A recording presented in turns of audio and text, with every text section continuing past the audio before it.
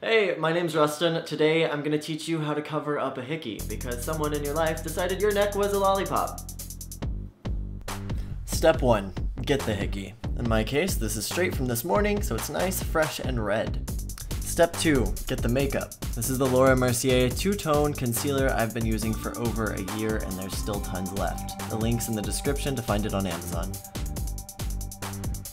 Step 3. Make sure your hands are clean and rub your fingers together to create a little friction heat.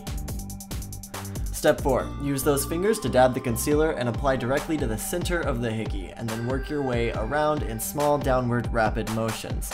Blend this out so that nobody can see your makeup. That would defeat the point.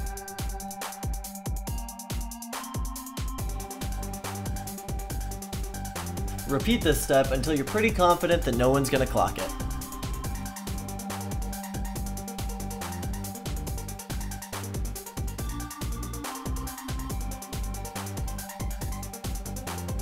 Step 5 is optional, but I prefer to add a little concealer to the opposite side of my neck so that I don't have an asymmetrical color.